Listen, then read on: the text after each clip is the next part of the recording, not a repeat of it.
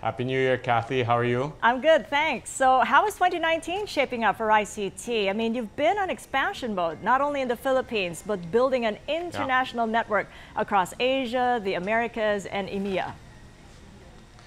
Uh, it's, it's going to be a very exciting 2019. I, I think, as you mentioned earlier in the segment, uh, we're, we're focused now on, on getting our new Sudan concession started.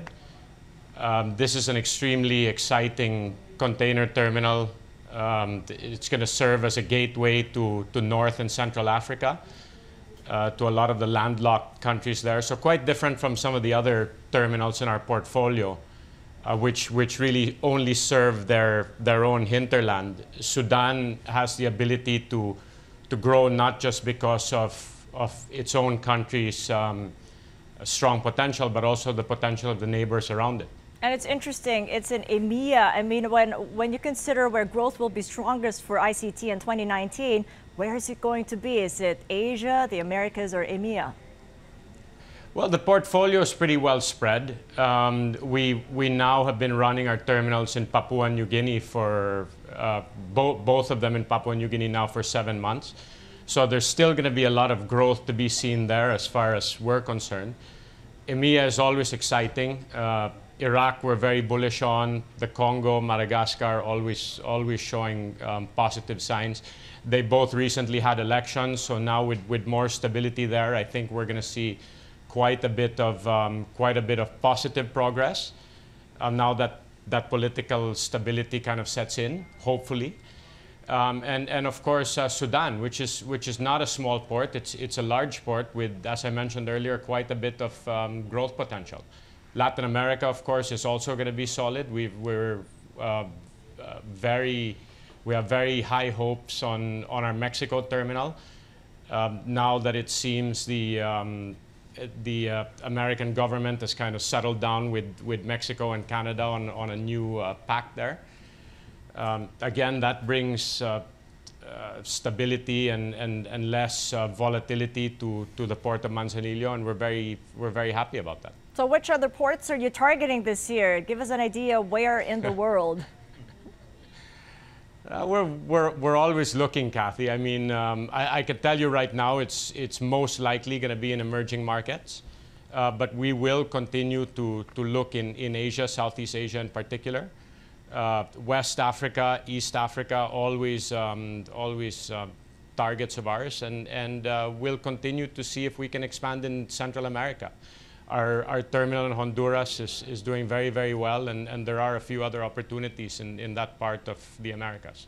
It's interesting this expansion you're, you're carrying on comes against the backdrop of the US China trade war. I mean, how is cargo throughput and, and container throughput holding up for 2019? Because I'm seeing uh, in the data showing cargo throughput up in Q3 2018, but the growth rate of container throughput has gone down because of that trade war.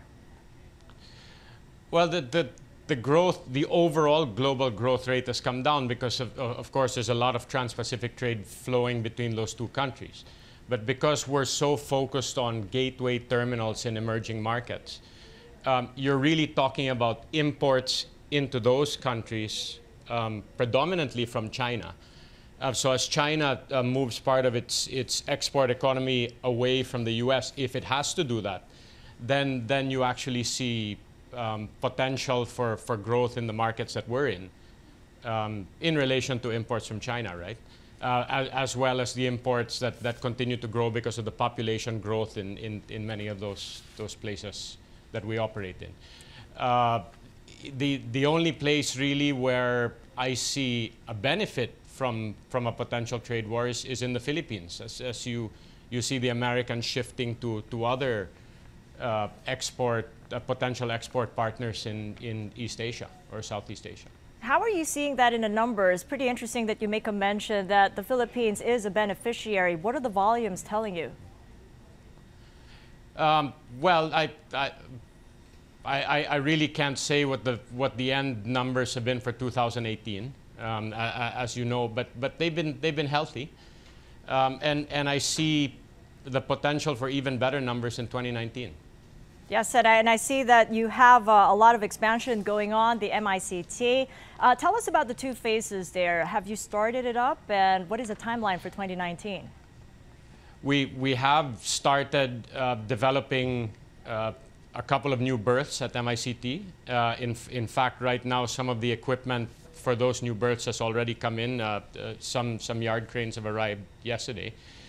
Uh, we have quite a bit more equipment coming in in the first half of this year.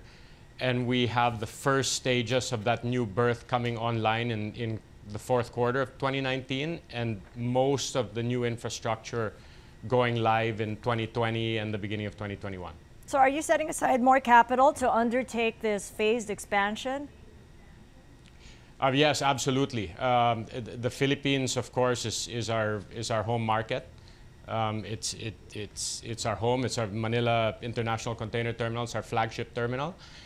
And uh, we do intend to, to allocate a significant amount of the company's capital this year towards uh, further developing um, the MICT. How much more? well, it's, uh, I, I really can't say exactly, but it's in the hundreds of millions of dollars. And have you heard back from the Ports Authority on Visayas? You've submitted a letter of intent last November to invest more than uh, 5 billion pesos to develop the Iloilo port complex in the port of Dumangas yes, I, I, I, I, think I think I think the Visayas is, is due a, a new a new hub for cargo where um, Cebu is, is relatively constrained at the moment. So there's there's a big opportunity for, for Iloilo to, to capture a lot of the international cargo that's now coming into Manila and then being transshipped to, to the Visayas, if we can get some of that cargo directly into Iloilo and then distributed perhaps by barge, smaller, uh, smaller domestic carriers into the Visayan Islands, we see a big cost benefit for a lot of the, the provinces there and, and, and easier access to markets for, for many of the places that don't have um, good logistical support from a, from a port's perspective. So what's your timeline for upgrading these two ports into international gateways? Well, uh, we're in the process now of finalizing the, the final proposal. Uh, we have people on the ground. Uh, I, I, believe within the next three to four months we can come to terms with the Port Authority, and after that we'll get started straight away. Just, just getting new management and, and, um, and a lot of you know, smaller type of equipment in there uh, getting the getting the port of Iloilo dredged further to get bigger ships in will uh, make a marked improvement straight away.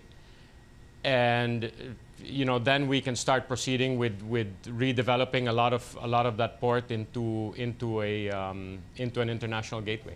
Chris, so I, I would say a time. Uh, sorry, I, I would say a timetable of, of two to three years to, to get it fully completed. Before I let you go, I wanted to ask your assessment so far of the government's uh, build, build, build. How has that now started to provide the connectivity that you need for your business to get shipments to and from client as seamlessly? Well, it, it, it you know, obviously these programs take a lot of time, right? You don't come out and say build, build, build, and, and next week you have new roads and, and airports and, and, and other critical infrastructure. But all of, uh, you know, a lot of a lot of this, a lot of the bottlenecks that we used to see in the past have now been um, have now been mitigated. Uh, you're you're seeing a lot of the right-of-way issues for the skyways um, getting uh, taken care of.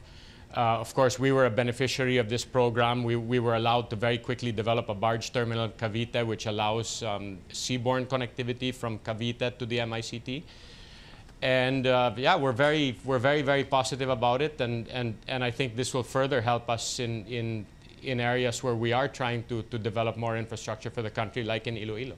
Looks like it's going to be busy for you. I thank you so much for joining us it's and giving us the outlook for 2019. Christian Gonzales, the Global Corporate Head thank you, of Kathy. ICTSI in Rockwell, Makati.